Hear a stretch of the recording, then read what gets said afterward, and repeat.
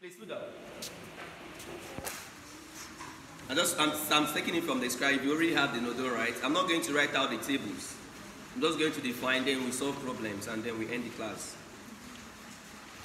But till one o'clock, we'll have to solve a lot of problems. Please put down. Conversion is a process of changing from one unit to another.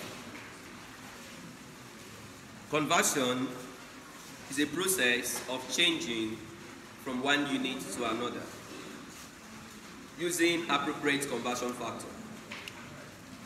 Using appropriate conversion factor. Now, yesterday, I can remember I, I was just trying to explain the relationship between centimeters and meters. And someone now told me that, oh, from secondary school, she knew that centimeter, centi is 10 raised to minus 2. So I took time to explain that stuff. So if I have maybe, you're being asked to convert from centimeter to meters, the very first thing you should look out for is the relationship between those two units. And I told us that one centimeter is the same thing as 0.01 meters, or 100 centimeter equals to 1 meter. Now this what we have here. So if you're, if you're to present this stuff in the conversion factor, please, this is a relationship. Every relationship can be expressed in two forms of a conversion factor. The first form of this guy can be written as 100 cm over 1 meters. Or 1 meters over what? 100 cm. Please, I just want us to really understand this.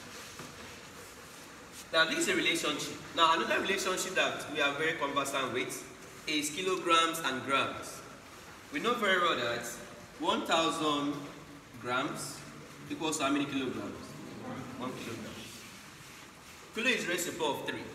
We don't ask that question yesterday, but kilo has the value of raised to the power of what? If I have 1 kg and I want to remove this k, I'll multiply with the value of kilo. Are you following me? So if I multiply this guy by 3 raised to the power of 3, I have to strike out the what? The k. Alright? Now, so this relationship here relates grams and kilograms. Now, I can equally put down this relationship in terms of a factor, right? Now, in conversion factor, I could say this is 1,000 grams, all about what? 1 kilograms. Is it not so? Or 1 kilogram, all about what? 1,000 grams. Please, I want us to really understand how to express relationship in conversion factor, in terms of conversion factor. This is a relationship that relates grams and kilograms basically it's a relationship. Now, but in, term, in terms of conversion factor, for every 1,000 grams, we have 1 kilograms. Or for every 1 kilograms, we have 1,000 grams. Alright? Now, can you express this for me in terms of um, conversion factor? We know that 1,000 millimeter is sent as 1 meter. We also know that 1 inch equals to 2.54 what? Class, can you please express this relationship for me in terms of the two conversion factor here? Express this guy for, I don't, don't tell me. Write the science inside your book. Please, give me the conversion factor for this. Remember, a factor is more like in a fraction form, the conversion factor. This is a relationship. So I need a conversion factor for this and also need for this. Okay, so without wasting so much time, for the first one, this is a relationship. We can represent this guy as 1000 millimeters all over what? 1 meters. Or 1 meter all over what? 1000 millimeters. Hope you are good with this, but now, the second part we say the relationship between inch and centimeter. One inch is always equals to 2.54 cm. Alright? So I can express this guy as 1 inch all over 2.54 cm or 2.54 cm over 1 inch. Is anybody here that did not or that don't understand how we got this? Okay, fine. Can you tell me, um, I can remember I gave us relationship between yards and inches. How many inches are present in one yard? 36. I even made an illustration the other day that um, I went to buy, I think, wire, and the guy was using his hand to measure. What if you're short? What if your hand is not up to 36 inches? So the guy actually carried it out, and then I used my tape to measure it, and I was getting 34. That means the guy um, measurement was shorting. Okay. So please put down this question. Like I said, we're, we're taking it step by step.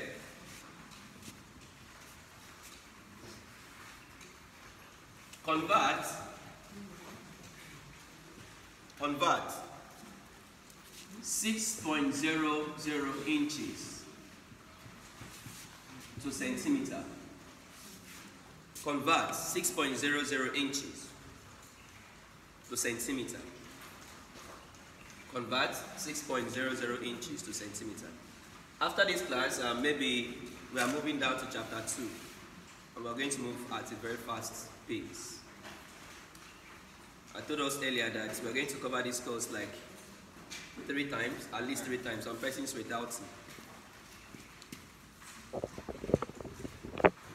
without Alright, I like it when people doubt though, because they actually give me this, um, this, you know now, they give me this energy.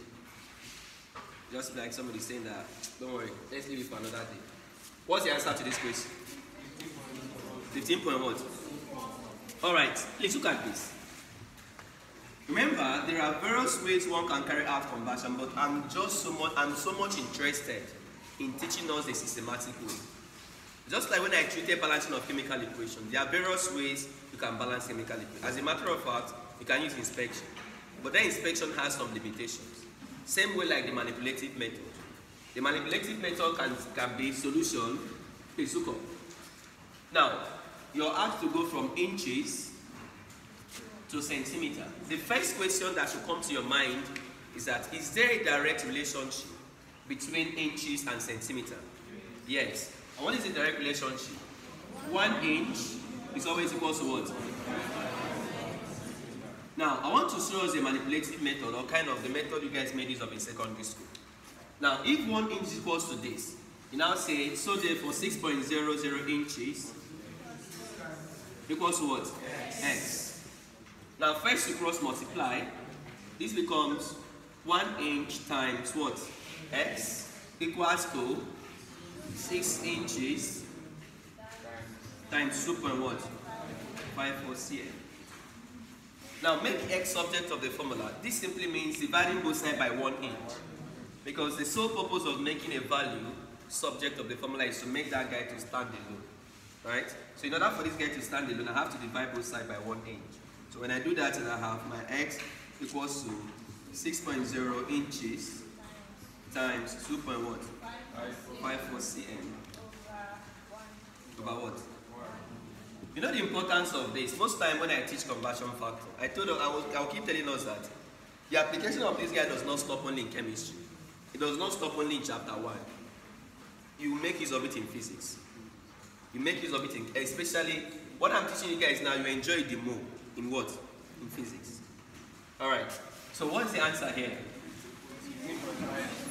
15 point what? 24 cm. Alright. I'm now going to use a conversion method from pattern. This is more like the one you made use of in secondary school. Right? Make X subject and so on. But if I don't want to make use of this, I want to use a normal conversion pattern. Now, it's actually very simple. Can I clean this? Yes. Can I clean? Yes. Please copy first. Tomorrow is Sunday. Please, on Monday. Monday is going to be very, very corrosive. Like, trust me, if you're coming to school on Monday, try and come with food because we'll be starting by 10 and then we're ending by 5. Yes, we're doing two practicals on Monday. Just practicals alone. Please, I've sent in um, these particular practicals. I did not want to send it since to avoid um, um, piracy. I sent in a material on the group chat that has the calculation pattern. Alright, so just check through the group. For those persons that have been joining recently, I will actually resend that stuff. Now, if you look at it, I actually explain each of those procedures step by step, and then your worksheet, how you're going to report your worksheet to make it very neat and clean. All of them is, I actually stopped at number five. Number 6, 7, and 8, I will actually send in the solution this night. Okay, so please make sure you do that at least when you go to lab because your practical will start on Tuesday. Is anybody here that will be doing practical on Tuesday, chemistry?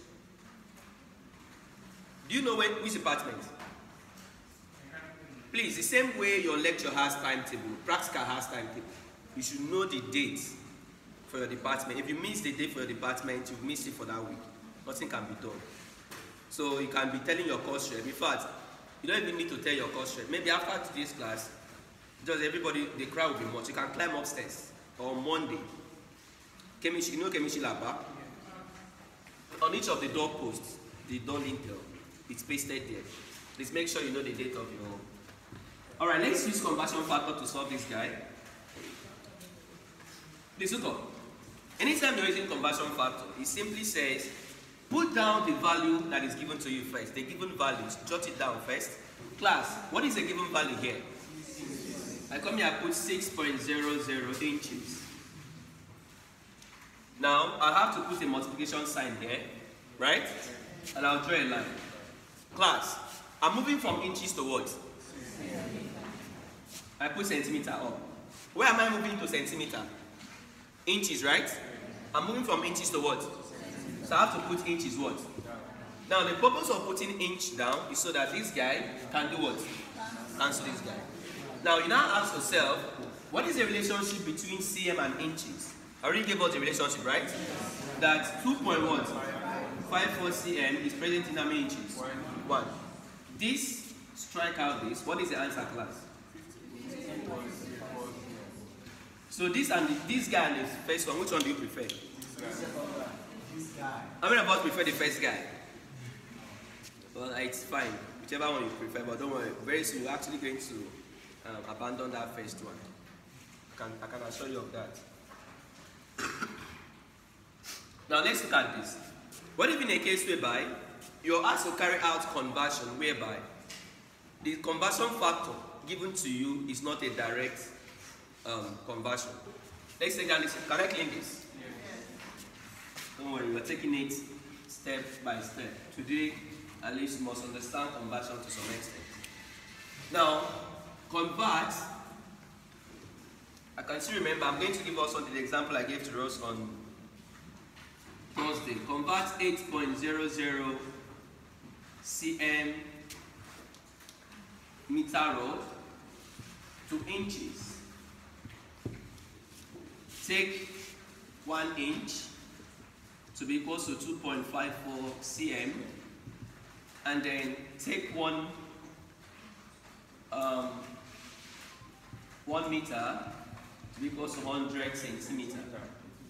Now most of the times they will always give you this conversion below or beneath the question. Now most if they don't give you beneath the question, please always endeavor to check out the, the top page of your question paper. But most of the times the question paper will always have all the formulas, all the constants on the top page.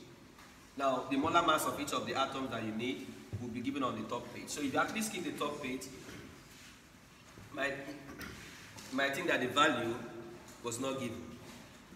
Class, based on the conversion factors or based on the relationship I've given to us now, there is no direct relationship from meters to what? Inches. There is no direct relationship. Do you understand? In this case now, they gave us two relationships. Can you see this? There is no direct relationship from meters to inches. So that means, but I know very well that from meter, I can get to what? Centimeter. I know that, note, so far, there is no direct formula from meters to centimeter. Is it not so? But I can move from I can move from meters to what? Okay, from meters to inches. Class, since there is no known relationship between centimeters and inches, I can move from meters to what? Centimeter. From centimeters to what? Inches. Now, how do we do that? It's actually a two-step process. I will solve it two different methods. I'll solve the first one and then proceed to the inches. Then I'm going to solve all of them directly. Are you set? Yeah. I want to clean this. Please jot this down. Because most of the time they'll give you questions like this in exams. And there is no direct relationship to move from the given value to the desired value. But then there is an intermediate point where you can stop and then proceed. So here now, they gave us two relationships. And to make use of these two relationships to move from meters to inches. So how, can I clean this now? Please, once it's, um, once it's 10.30, let me know. Okay? What's the time now?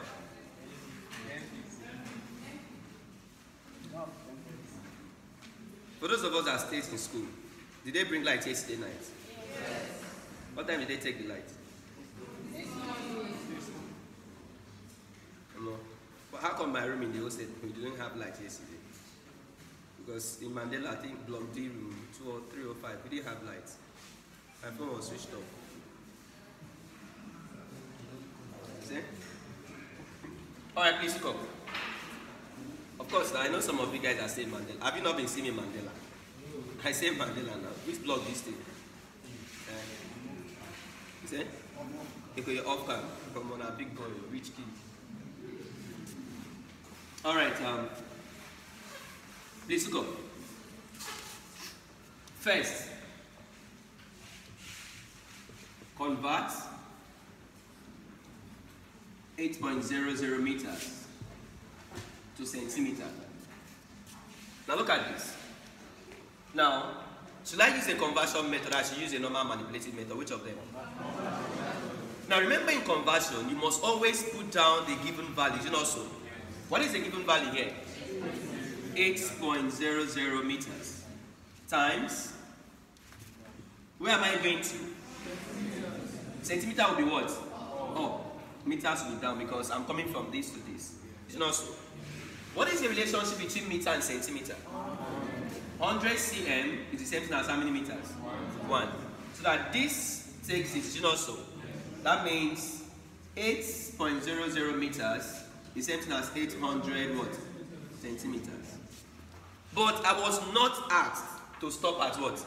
Centimeter. I was asked to stop at what? Inches. So I can now take up this guy and proceed to inches. I don't know if you get. So I'll now say second, convert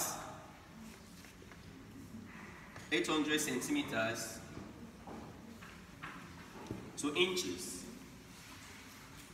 In this case now, the value we have now is 800 cm, is it not so? So now put down 800, 800 cm. You a multiplication sign, class. You put a line there. Where am I going to? From cm to what now? Inches. This becomes inch, cm.